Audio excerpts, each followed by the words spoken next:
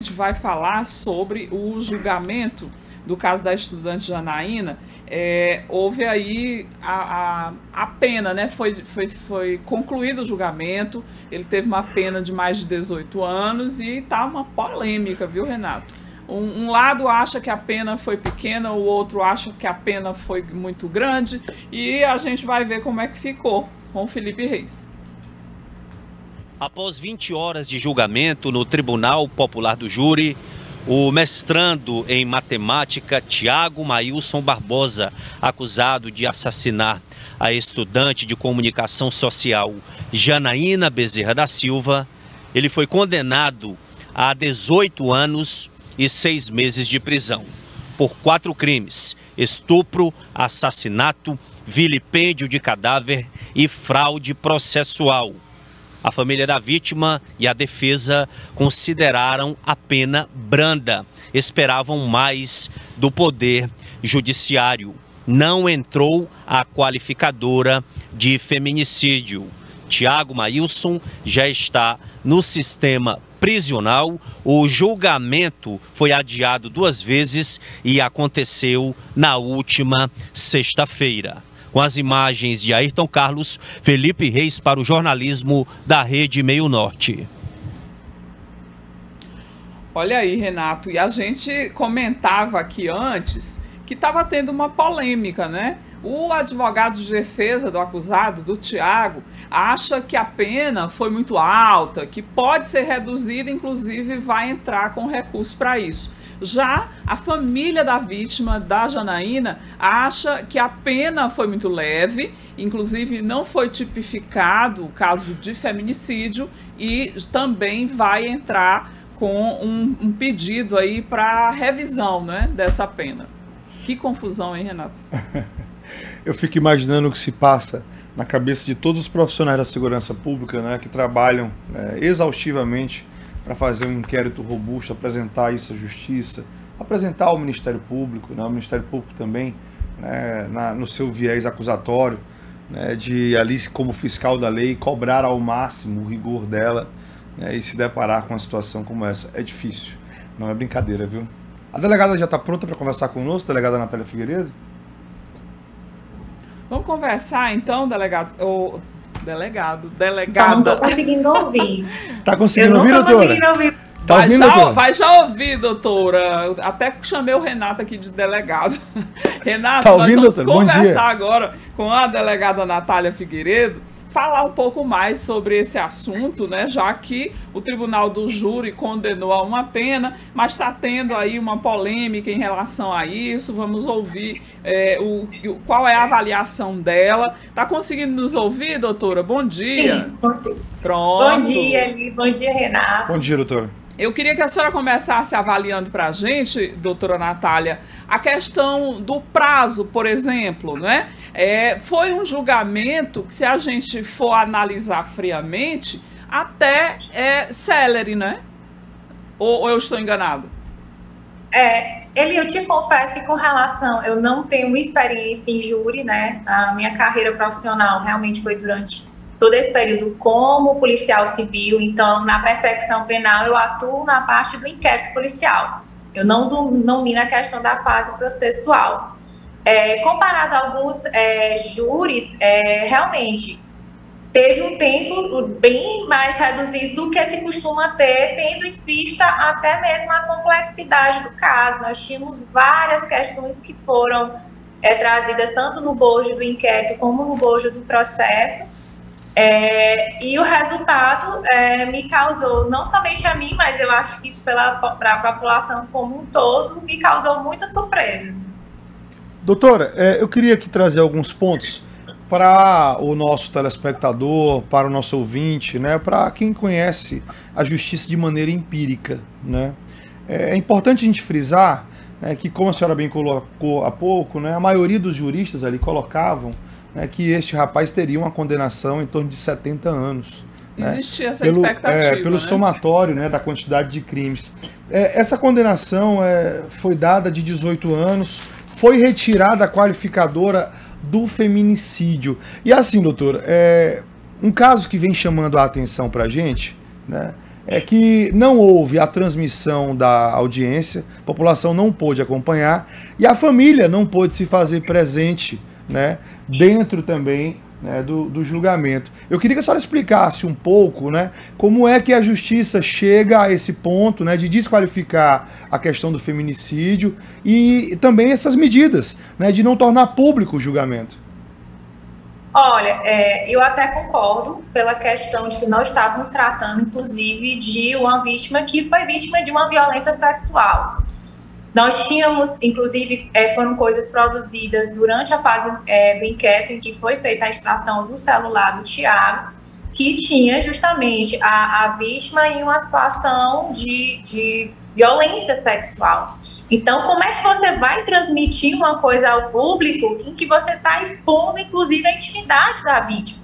Então, realmente, eu concordo a questão de não ter havido uma divulgação, de ter havido, de fato, uma redução das pessoas que fariam parte, né, que estariam presentes no momento do, do, do julgamento, porque, antes de tudo, nós tínhamos que ter a preocupação da preservação da intimidade da vítima e também dos familiares. Então, eu realmente eu concordo com a postura que foi tomada e eu acho que foi a mais prudente é, no fato. Eu sei que a, a, população às vezes tem a preocupação de ter acesso, até porque foi um caso que teve uma repercussão não somente nacional, inclusive matérias internacionais foram veiculadas no, na, no momento, mas ali estávamos tratando de um julgamento e que, de fato, diante de tudo que foi produzido, havia sim a necessidade de reduzir quem teria acesso, justamente devido ao conteúdo da, do que foi produzido durante o inquérito.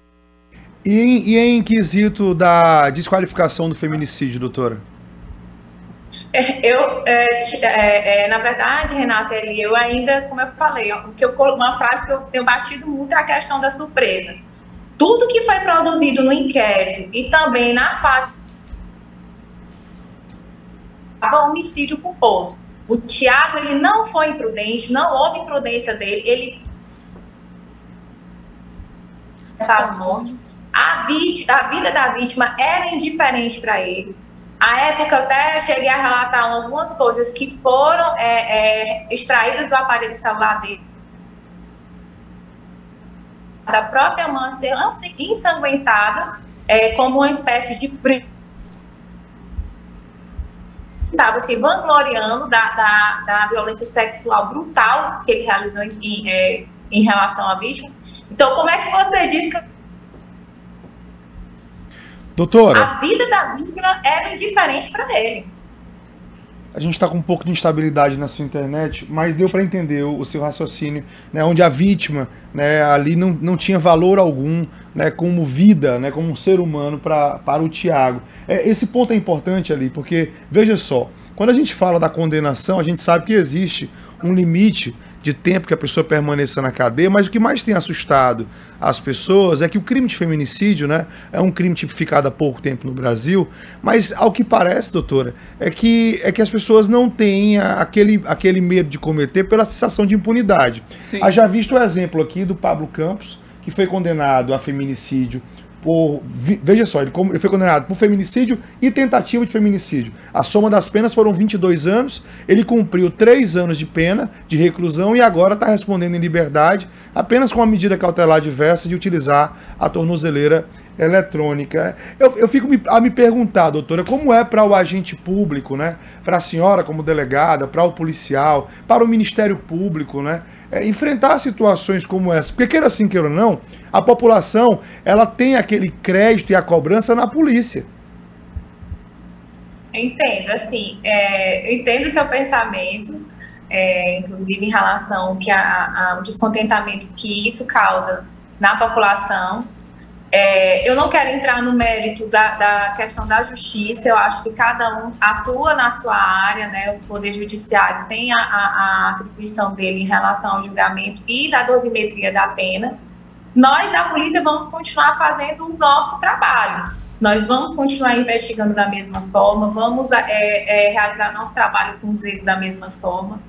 É, eu até tenho enfatizado bem ali e, e, Renato que esse resultado da, do julgamento, né, que veio do, que eu vi, a questão da, da própria assistência da acusação é, também se posicionou no sentido de, de recorrer através da apelação, mas de todo modo eu não, eu não gostaria concerne a denúncia de violência doméstica familiar. Não esmoreçam, é, continuem denunciando. É, ano passado, a cada seis horas, uma mulher é vítima de feminicídio, foi vítima de feminicídio. gente, esse combate, essa luta contra a violência doméstica familiar tem que continuar. Não, não permitam que é, esse resultado, que eu espero sinceramente, em relação à denúncia. A gente fica é, é, lamentando também, doutora Natália, por conta do número de crimes que ele foi acusado. Ontem a gente fazia essa avaliação aqui, eu e o Renato, claro que nós não somos da área, a gente não entende desse assunto, é uma avaliação de leigo mesmo. Que, é, se eu não me engano, foram cinco crimes diferentes. Cinco crimes. É, homicídio qualificado, vilipêndio de cadáver é, e mais uns quatro. E, se você... O que aconteceu? Pois não. Por que, que a pena foi reduzida? Foi mantido a questão do vilipêndio a cadáver, que foi o ato de necrofilia, e isso, o laudo cadavérico, contra prova técnica, não se rebate. O laudo cadavérico, ele é, deixou bem claro que houve violência sexual com a vítima sem vida. Isso veio através de uma excelente perícia criminal que foi realizada e foi constatado que ele tentou esconder provas. O estupro, que veio através do laudo cadavérico também, só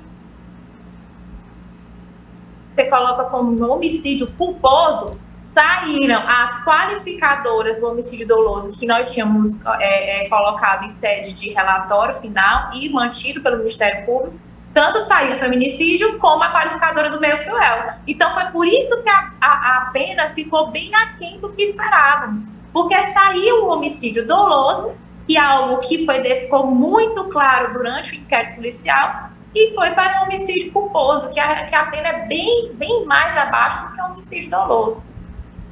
Ah, Renato, olha aí. Doutora, é, um outro questionamento, né? É óbvio que a gente não tem aqui nenhuma vontade ou ideia de colocar é, qualquer conflito entre os poderes. Né? É, a ideia é, a senhora, enquanto profissional da segurança pública, o que, que a senhora sugere que o Congresso Nacional possa fazer né, para que esse criminoso que comete feminicídio, ele possa sim pagar por muito mais tempo esse crime na cadeia? Olha, a situação em específico, ela foi para o júri popular. Então, no júri popular, é, não necessariamente serão pessoas que têm conhecimento jurídico. E o júri popular, ele é previsto na Constituição Federal. Então, isso é um movimento ainda muito mais complicado, porque isso foi estabelecido na nossa Constituição. Não estou falando que está no Código de Processo Penal, que está no Código Penal, está na Constituição Federal. Quando fala a questão do Poder Judiciário, é, até a questão assim, o juiz ele fez a dosimetria de uma pena de crimes que foram colocados pelo júri. Então, eu gosto muito, mas às vezes fica, ficam questionando ah, o Poder Judiciário. O poder... Ele apenas fez uma dosimetria de pena baseada naquilo que o júri decidiu. E até que se mude a Constituição, o veredito do júri é soberano. É passível de apelação, mas é algo muito mais complicado de se reverter do que uma, um outro tipo de condenação que não seja condenação em crime doloso contra, aliás, em crime contra a vida.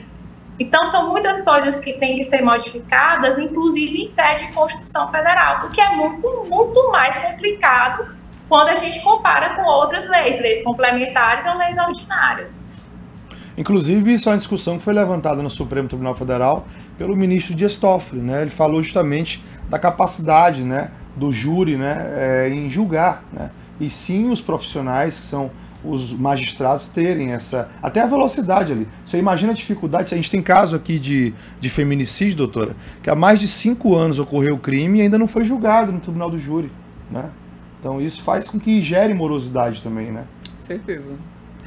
A gente eh, lamenta, né, profundamente que uh, tenha que mais famílias passar por esse tipo de situação, a gente imagina, né, Renato, como mãe, aí o sentimento da mãe da Janaína de, de ter a filha ter passado por tudo aquilo, ter perdido a filha, nunca mais ela vai ver, vai dar um abraço, um beijo, de, e perdeu a filha de uma maneira tão cruel que eu não desejo uma perda dessa para nenhum ser humano, porque é, é inesquecível. Você não consegue, eu acredito que você não consiga se recuperar de, da, do trauma, né? É, perder um ente querido já é doloroso. Perder dessa maneira é, é uma coisa que eu não, não sei nem nominar como mãe. O que, que a gente diria nesse caso? Não tem nem o que dizer. A verdade é que você não aceitaria, né? Jamais, jamais. É, a, a, delegada tem que olhar as coisas à luz do direito, o magistrado tem que olhar as coisas à luz do direito,